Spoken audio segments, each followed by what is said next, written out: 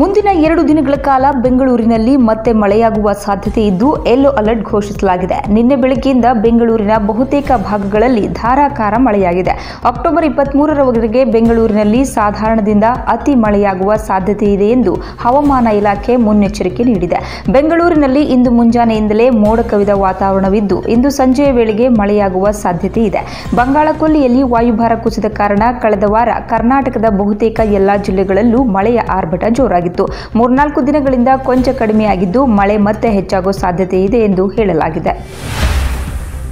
ಈಗಾಗಲೇ ದೇಶಾದ್ಯಂತ ದಸರಾ ಉತ್ಸವ ಆರಂಭವಾಗಿದೆ. ನವರಾತ್ರಿ ಬೆನ್ನಲ್ಲೇ ಒಂದರ ಹಿಂದೊಂದರಂತೆ ಸಾಲಾಗಿ ಹಬ್ಬಗಳು ಇರೋದ್ರಿಂದ ಭಾರತೀಯ ರೈಲ್ವೆ ಇಲಾಖೆ ಇಂದಿನಿಂದ ನವೆಂಬರ್ ಮೂವತ್ತರವರೆಗೆ ಮುನ್ನೂರ ತೊಂಬತ್ತೆರಡು ವಿಶೇಷ ರೈಲುಗಳ ಸಂಚಾರವನ್ನು ಆರಂಭಿಸಿದೆ.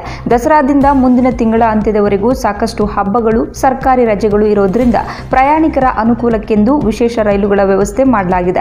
ಹಬ್ಬಗಳ ಸಂದರ್ಭದಲ್ಲಿ ಪ್ರಯಾಣಿಕರ ಸಂಖ್ಯೆ ಹೆಚ್ಚಾಗುವುದರಿಂದ ಕೊರೋನಾ ಹಿನ್ನೆಲೆಯಲ್ಲಿ ಹೆಚ್ಚಿನ ಜನದಟ್ಟಣೆಯನ್ನು ತಡೆಯುವ ಉದ್ದೇಶದಿಂದ ವಿಶೇಷ ರೈಲು ಸಂಚಾರ ವ್ಯವಸ್ಥೆ ಮಾಡಲಾಗಿದೆ ಎಂದು ರೈಲ್ವೆ ಸಚಿವಾಲಯ ತಿಳಿಸಿದೆ.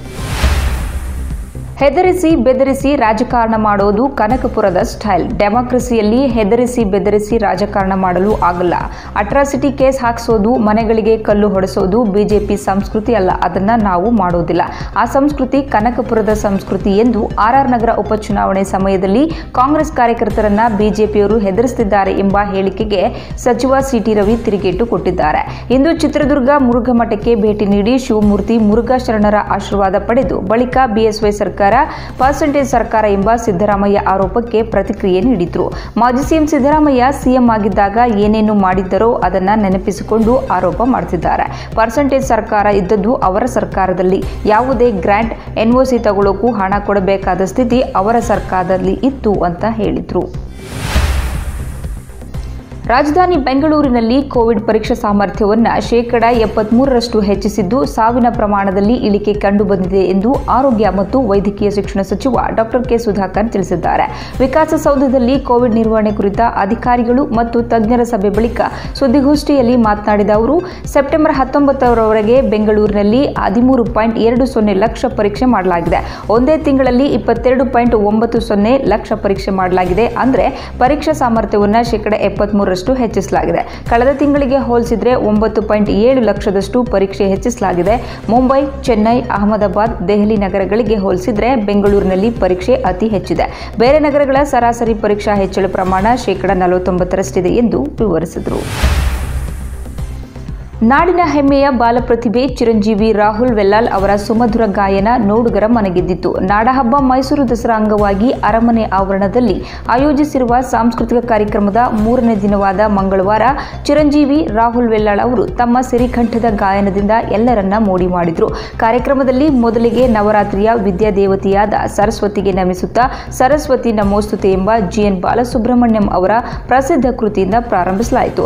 ನಂತರ ಅನ್ನಪೂರ್ಣೆ ವಿಶಾಲಾಕ್ಷಿ ಎಂಬ ಸಾಮರಾಗದ ಕೃತಿಯನ್ನು ಮನೋಜ್ಞವಾಗಿ ಹಾಡಿತು ಬಿಜೆಪಿ ಚಾಮುಂಡೇಶ್ವರಿ ಕ್ಷೇತ್ರದ ಕಾರ್ಯಕಾರಿಣಿ ಸಭೆ ಇಂದು ಮೈಸೂರಿನ ಖಾಸಗಿ ಹೋಟೆಲ್ನಲ್ಲಿ ನಡೆಯಿತು. ಬಿಜೆಪಿ ನಗರಾಧ್ಯಕ್ಷ ಶ್ರೀವತ್ಸ, ಮಾಜಿ ಸಂಸದ ಸಿಎಚ್ ವಿಜಯಶಂಕರ್, ಬಿಜೆಪಿ ಮುಖಂಡರು ದೀಪ ಬೆಳಗುವುದರ ಮೂಲಕ ಕಾರ್ಯಕ್ರಮಕ್ಕೆ ಚಾಲನೆ ನೀಡಿದರು. ಸಭೆಯಲ್ಲಿ ಸಿಎಚ್ ವಿಜಯಶಂಕರ್ ಅವರು ಮಾತನಾಡಿ, ಅಖಂಡ ಭಾರತದ ಪರಿಕಲ್ಪನೆ ಇದರಲ್ಲಿದೆ. ಇಡೀ ಭರತ ಭೂಮಿಯನ್ನ ಭಾರತಾಂಬೆ ಆವರಿಸಿಕೊಂಡಿದ್ದಾಳೆ. ತಾಯಿ ಭಾರತಾಂಬೆ ನಿತ್ಯ ಸುಮಂಗಲಿಯಾಗಬೇಕು. ಗತ ವೈಭವದ ಇತಿಹಾಸ ಮತ್ತೆ ಮರುಕಳಿಸುವಂತಾಗಬೇಕು. ಭಾರತದ ಕೀರ್ತಿ ಇಡೀ ಪ್ರಪಂಚಕ್ಕೆ ಪಸರಿಸಬೇಕು. ಇದು ಭಾರತೀಯ ಜನತಾ ಪಾರ್ಟಿಯಿಂದ ಮಾತ್ರ ಸಾಧ್ಯ ಅಂತ ಹೇಳಿದರು. ಇತ್ತೀಚೆಗೆ ಹೆಚ್ಚುತ್ತಿರುವ ಅಪಘಾತ ಪ್ರಕರಣಗಳನ್ನು ಕಡಿಮೆ ಮಾಡಲು ಸಾರಿಗೆ ಇಲಾಖೆ ಟಫ್ ರೂಲ್ಸ್ಗಳನ್ನು ತರ್ತಿದ್ದು, ಈ ನಡುವೆ ಹೆಲ್ಮೆಟ್ ಧರಿಸದೆ ಓಡಾಡುವ ಬೈಕ್ ಸವಾರರಿಗೆ ದಂಡದ ಜೊತೆಗೆ ಮೂರು ತಿಂಗಳ ಡಿಎಲ್ ಅಮಾನತು ಮಾಡಲು ನಿರ್ಧರಿಸಿದೆ. ಈ ಸಂಬಂಧ ಈಗಾಗಲೇ ಸಾರಿಗೆ ಇಲಾಖೆ ಸುತ್ತೋಲೆ ಹೊರಡಿಸಿದ್ದು, ನಾಲ್ಕು ವರ್ಷದ ಮೇಲ್ಪಟ್ಟ ಎಲ್ಲ ಹಿಂಬದಿಯ ಸವಾರರು ಹೆಲ್ಮೆಟ್ ಧರಿಸುವುದು ಕಡ್ಡಾಯ. ಹೆಲ್ಮೆಟ್ ಧರಿಸದೆ ಓಡಾಡೋ ಬೈಕ್ ಸವಾರರಿಗೆ ದಂಡ ವಸೂಲಾತಿಯೊಂದಿಗೆ ಡ್ರೈವಿಂಗ್ ಲೈಸೆನ್ಸ್ ಅನ್ನು ಮೂರು ತಿಂಗಳ ಕಾಲ ಅಮಾನತು ಮಾಡಬೇಕು. ಈ ಪ್ರಕ್ರಿಯೆಯನ್ನು ತಕ್ಷಣದಿಂದ ಜಾರಿಗೆ ಬರುವಂತೆ ಅಗತ್ಯ ಕ್ರಮ ಕೈಗೊಳ್ಳುವಂತೆ ರಾಜ್ಯದ ಎಲ್ಲ ಪ್ರಾದೇಶಿಕ ಸಾರಿಗೆ ಅಧಿಕಾರಿಗಳಿಗೆ ಮತ್ತು ಸಿಬ್ಬಂದಿಗಳಿಗೆ ಸಾರಿಗೆ ಇಲಾಖೆ ಸೂಚನೆ ನೀಡಿದೆ. ಪೌರತ್ವ ತಿದ್ದುಪಡಿ ಕಾಯ್ದೆಯನ್ನು ಶೀಘ್ರದಲ್ಲೇ ದೇಶಾದ್ಯಂತ ಜಾರಿಗೊಳಿಸಲು ಕ್ರಮ ಕೈಗೊಳ್ಳಲಾಗುವುದು ಎಂದು ಬಿಜೆಪಿ ರಾಷ್ಟ್ರೀಯ ಅಧ್ಯಕ್ಷ ಜೆಪಿ ನಡ್ಡಾ ಹೇಳಿದ್ದಾರೆ. ಉತ್ತರ ಬಂಗಾಳದ ಸಾಮಾಜಿಕ ಸಂಸ್ಥೆಗಳ ಸಭೆಯನ್ನುದ್ದೇಶಿಸಿ ಮಾತನಾಡುತ್ತಿದ್ದ ಅವರು, ಕೋವಿಡ್ ಕಾರಣಕ್ಕೆ ಪೌರತ್ವ ಕಾಯ್ದೆ ಅನುಷ್ಠಾನ ಕಾರ್ಯ ವಿಳಂಬವಾಯಿತು ಎಂದು ತಿಳಿಸಿದ್ದಾರೆ. ಮಮತಾ ಬ್ಯಾನರ್ಜಿ ನೇತೃತ್ವದ ಪಶ್ಚಿಮ ಬಂಗಾಳ ಸರ್ಕಾರ ರಾಜ್ಯದಲ್ಲಿ ಡಿವೈಡ್ ಅಂಡ್ ರೂಲ್ ನೀತಿ ಅನುಸರಿಸುತ್ತಿದೆ. ಪೌರತ್ವ ಕಾಯ್ದೆ ವಿರುದ್ಧ ಜನರನ್ನ ತಪ್ಪು ದಾರಿಗೆ ಎಳೆಯುತ್ತಿದೆ ಎಂದು ಟೀಕಿಸಿದ ಜಯಪ್ರಕಾಶ್ ನಡ್ಡಾ, ಈ ಕಾಯ್ದೆಯಿಂದ ನಿಮ್ಮೆಲ್ಲರಿಗೂ ಲಾಭವಾಗಲಿದೆ. ಸಂಸತ್ನಲ್ಲಿ ಇದಕ್ಕೆ ಅನುಮೋದನೆ ಸಿಕ್ಕಿದೆ. ನಾವು ಇದಕ್ಕೆ ಬದ್ಧರಾಗಿದ್ದೇವೆ ಅಂತ ತಿಳಿಸಿದ್ರು.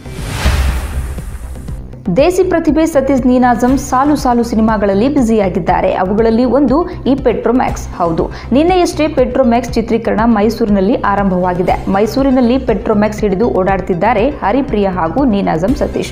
ಈ ಜೋಡಿ ಪೆಟ್ರೋಮ್ಯಾಕ್ಸ್ ಎಂಬ ಹೊಸ ಸಿನಿಮಾಗಾಗಿ ಜೊತೆಯಾಗಿದ್ದಾರೆ. ನಿನ್ನೆಯಷ್ಟೇ ಪೆಟ್ರೋಮ್ಯಾಕ್ಸ್ ಸಿನಿಮಾಗೆ ಕಿಕ್ ಸ್ಟಾರ್ಟ್ ಸಿಕ್ಕಿದೆ. ದಸರಾ ಸಂಭ್ರಮದ ನಡುವೆಯೇ ಮೈಸೂರಿನಲ್ಲಿ ತಂಡ ಚಿತ್ರೀಕರಣ ಆರಂಭಿಸಿದೆ. ನೀರ್ದೋಸೆ ಖ್ಯಾತಿಯ ವಿಜಯ್ ಪ್ರಸಾದ್ ಈ ಚಿತ್ರವನ್ನು ನಿರ್ದೇಶನ ಮಾಡ್ತಿದ್ದಾರೆ. ನಟಿ ಕಾಜೋಲ್ಗೆ ಸೀರೆ ಇಡುವುದು ಎಂದರೆ ತುಂಬಾ ಇಷ್ಟವಂತೆ. ಇದೇ ಕಾರಣದಿಂದಲೇ ಮನೆಯಲ್ಲಿರುವಾಗಲೂ ಸೀರೆ ಇಟ್ಟು ಖುಷಿ ಪಡ್ತಾರಂತೆ. ಅಮ್ಮ ಸೀರೆ ಇಟ್ಟರೆ ಮಗಳು ಫೋಟೋ ತೆಗೆದು ಆನಂದಿಸಿದ್ದಾಳೆ. ಲಾಕ್ಡೌನ್ನಲ್ಲಿ ಮನೆಯಲ್ಲೇ ಮಕ್ಕಳು ಹಾಗೂ ಗಂಡನೊಂದಿಗೆ ಕಾಜೋಲ್ ಆರಾಮಾಗಿ ಕಾಲ ಕಳೆದಿದ್ದಾರೆ.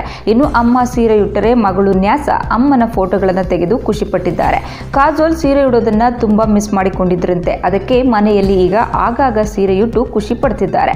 ಜೊತೆಗೆ ಮಗಳು ತೆಗೆದ ಫೋಟೋಗಳನ್ನು ತಮ್ಮ ಇನ್ಸ್ಟಾಗ್ರಾಮ್ನಲ್ಲಿ ಹಂಚಿಕೊಂಡು ಸಂಭ್ರಮಿಸುತ್ತಿದ್ದಾರೆ.